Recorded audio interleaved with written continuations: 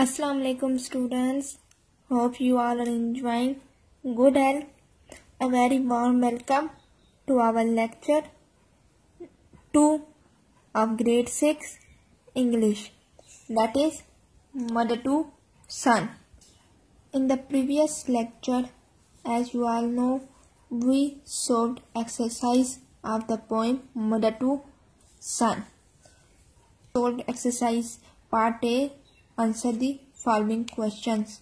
In today's lecture, we will solve part B of exercise that is working with words. Before starting our today's topic, let's have a look at message of the day. So today's message is your positive action combined with positive thinking results in success. Means कि आपका एक मस्बत act एक मस्बत काम one positive act with combine with positive thinking कि आपकी positive मस्बत सोच। किस चीज़ का नतीजा? आपकी सक्सेस की, आपकी कामयाबी का। ठीक है? If you act and think positively you must succeed तो आप अगर अच्छा सोचेंगे, आपकी सोच पॉजिटिव होगी किसी भी बारे में, ठीक है? एंड आपका एक्ट जो है, आपके काम वो भी पॉजिटिव होंगे तो आपका ऑटोमेटिकली आपकी सक्सेस जो है वो को इन रिटर्न मिलेगी। चीज़ का सामान है, आपके positive action and positive thinking का। If you want to succeed in life you must think positively and act positively wise there will be no success so, that was our today's message. That is your positive action combined with positive thinking results in success. Let's proceed to our today's topic that is exercise part b working with words. Look at your book. First question is find all the non-standard words in the text in the poem and write them with correct standard form ठीक है? Means हमने क्या करना है कि non standard words को poem में से टेक्स्ट में से ढूंढना है और उसको करेक्ट स्टैंडर्ड फॉर्म में विद मीनिंग्स लिखना है। ठीक है? अब non standard and standard form क्या होते हैं? हम लोग बाज़ात इंग्लिश में क्या करते हैं कि हम लोग कुछ अल्फाज को कट कर देते हैं। मीन्स कुछ अल्फाज को हम लोग शॉर्ट कर देते हैं। ठीक है? स्टैंडर्ड फॉर्म को हम लोग नॉन स्टैंडर्ड फॉर्म में कन्वर्ट कर देते हैं। उसे किस तरह से कि उसमें से कुछ वर्ड्स हम लोग कट कर देते हैं और उसकी जगह हम लोग अपोस्टॉप इस तरह से डाल देते हैं लाइक दिस ये हैज़ नाट है. So has not is a standard form है, ठीक है? हम लोग बेसिकली ये बोलते हैं, ठीक है? लेकिन अगर इसे हम नॉन स्टैंडर्ड फॉर्म में लिखेंगे तो हम लोग इस तरह से लिखेंगे, ठीक है? हम लोग कुछ वर्ड्स बीच में से हम लोग एपोस्टॉप डाल के वो वर्ड्स हम लोग बीच में से निकाल देते हैं। राइट तो अब इस पोइम में हम लोगों ने बहुत सारे ऐसे वर्ड्स पढ़े थे, ठीक है? अब आइए देखते हैं उन वर्ड्स को, ठीक है? फ़र्स्ट वर्ड हम लोगों ने पढ़ा था ए आई एन टी ठीक है? एंड बी से पढ़ते हैं। अब इसका क्या मतलब होगा? इसमें एपोस्टॉप यहाँ डला हुआ है कॉमा मीन्स यहाँ डला हुआ है। अब इसका मतलब है हैज़ नॉट ठीक है? इस चीज़ की एब्रीवेशन है हैज़ नॉट के, ठीक है? इसका स्टैंडर्ड फॉर्म हैज़ नॉट है and non standard form is A I N T next one is I then again apostrophe then I S C तो इसका स्टैंडर्ड फॉर्म क्या होगा? आई हैव फिर हमने पढ़ा था R dash C L I M B I N climbin अब इसमें यहाँ ये कोमा आ गया है। मीन्स यहाँ कोई चीज़ मिसिंग है। ठीक है? तो इसका हम लोगों ने मीनिंग भी पढ़ा था वर्ड्स टू नो में। वहाँ क्या दिया था? C L I M B I N G climbing mean चढ़ना। अब इन्होंने क्या किया कि जी को यहाँ मिस कर दिया। ठीक है? अब इस तरह बहुत सारे वर्ड्स है, जैसे रीचन लैंडन टर्नन गोइंग ठीक है? इन सब में क्या है? जी एंड पर मिसिंग है। ठीक है? इन सब के आगे अगर हम जी लगा दें कॉमे की जगह तो ये हमारे पास इनका स्टैंडर्ड फॉर्म बन जाएगा। इस तरह था एक सेट डाउन ठीक है? ये किसका था? सेट डाउन का। देन कास कास का भी द स्टार्ट में था। तो इस जगह पे कास विकास ठीक है? इसमें बी ई मिसिंग था। So that is standard form of cast then था काइंडर ऑफ़ काइंडर का मतलब क्या था? काइंड ऑफ़ सो ये तो हो गए इस लेसन के अंदर कुछ दिए हुए थे। नॉन स्टैंडर्ड फॉर्म ठीक है? हम लोगों ने सॉल्व करना। अब now what is your home task your home task is write all these non-standard words on your notebook. Also write any other five non-standard words by yourself for example i comma ll i will don't do not ठीक है अक्सर हम don't पढ़ते हैं हम लोग can't पढ़ते हैं इसका क्या मतलब होता है कैन नॉट या डू नॉट क्या करना है आपने ये सारे स्टैंडर्ड्स वर्ड्स जो इस लेसन के अंदर थे ये जो भी मैंने आप लोग को बताए हैं। ये सब आपने अपने नोटबुक पे होमवर्क लिखना है। Second thing is also write any other five non standard words इन सब के अलावा कोई से फाइव और आप लोगों ने standard words non standard words लिखने हैं। जैसे कि मैंने एग्जांपल दिया आई विल की एंड डोंट की। ठीक है? नॉन स्टैंडर्ड फॉर्म लिखे हैं और इसके साथ इनका स्टैंडर्ड फॉर्म भी लिखना है। That is your home task for question of exercise part B Now move to our second question. That is, write these sentences using standard and grammatically correct English. हमने क्या करना है? जो नीचे दिए गए सेंटेंसेज हैं, उनको हम लोगों ने क्या करना है कि स्टैंडर्ड फॉर्म में लिखना है। ऊपर हमने नॉन स्टैंडर्ड और स्टैंडर्ड का मतलब समझे कि स्टैंडर्ड कौन से होते हैं और नॉन स्टैंडर्ड फॉर्म कौन से होते हैं। अब नीचे नॉन स्टैंडर्ड फॉर्म में सेंटेंसेस दिए हैं उनको हम लोगों ने स्टैंडर्ड फॉर्म में करना है। ऊपर जस्ट हमने वर्ड्स को किया था, अब हमने फुल सेंटेंसेस को स्टैंडर्ड फॉर्म में करना है और ग्रामेटिकली करेक्ट इंग्लिश में उन्हें कन्वर्ट करना है। First one is I has expectin a friend for dinner ठीक है? अब स्टॉप किधर डाला हुआ है?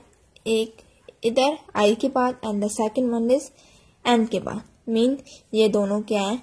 नॉन स्टैंडर्ड फॉर्म है। इनको हम लोगों ने स्टैंडर्ड फॉर्म में कन्वर्ट करना है। ठीक है?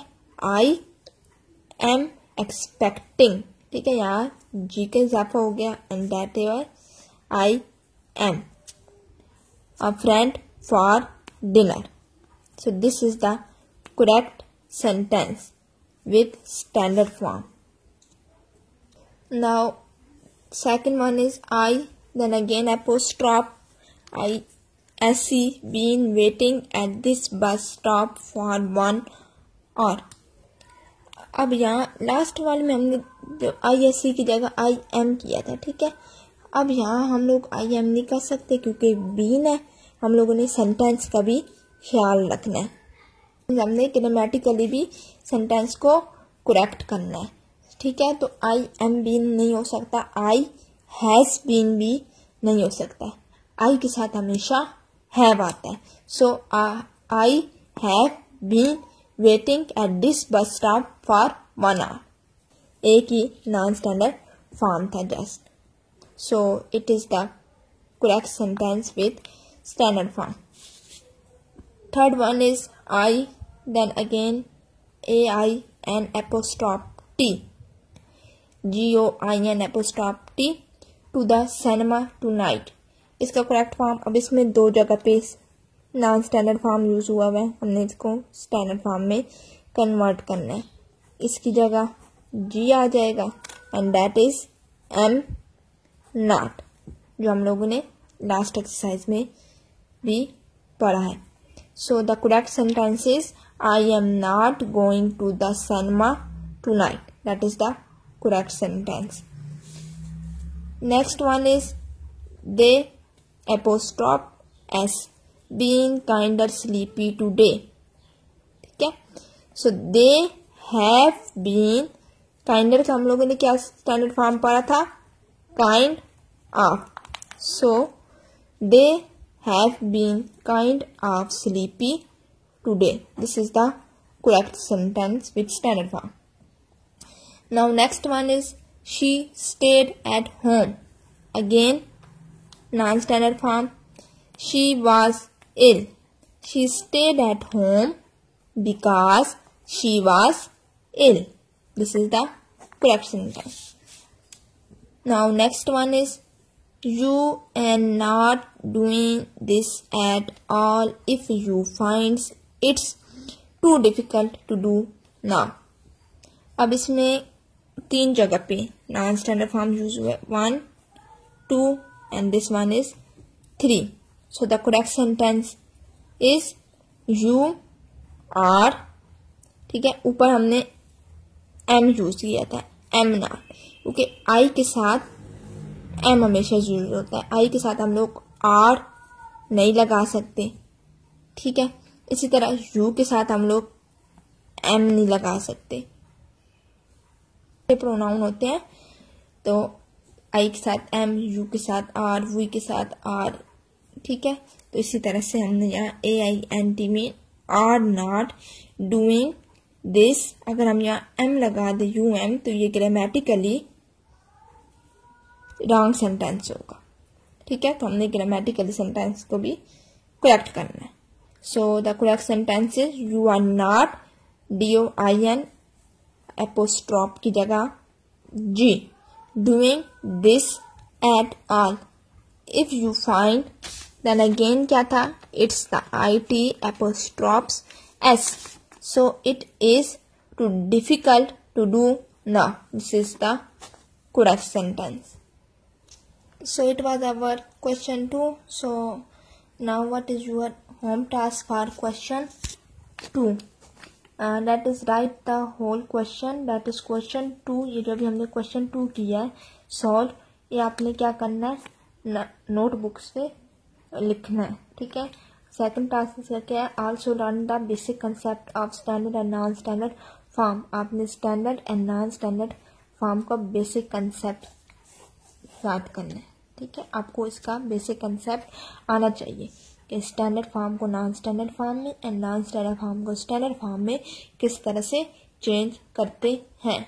यहाँ हमारे दो होम टास्क हो गए। एक एक्सरसाइज बी के क्वेश्चन वन का, ठीक है, जो आपने सारे स्टैंडर्ड फॉर्म वाला अपनी नोटबुक पे लिखना है, ठीक है?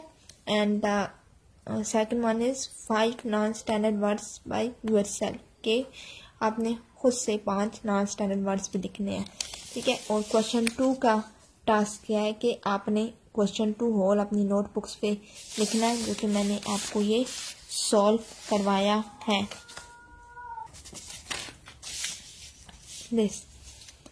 ठीक है आपने पहले ये क्वेश्चन लिखना है with non standard form then आपने उसका correct sentence with standard form लिखना है अपनी नोटबुक्स पे। और साथ साथ इन्हें क्या करना है, इनका कंसेप्ट भी क्लियर करना है। Uh, now I hope that you have clear the concept of standard and non-standard form. Still, if you we feel any confusion, any misunderstanding, then you can ask me. You can contact us freely. So it was our today's lecture. Thank you. Thank you for your cooperation. Stay home, stay healthy, stay safe. Your and our hard work shows that if we are wonder of study, wonder of education, we can continue it at home as there is no compromise at study. So we must work hard to all cooperate with us. Thank you. Take care of you and yourself. Allah Hafiz.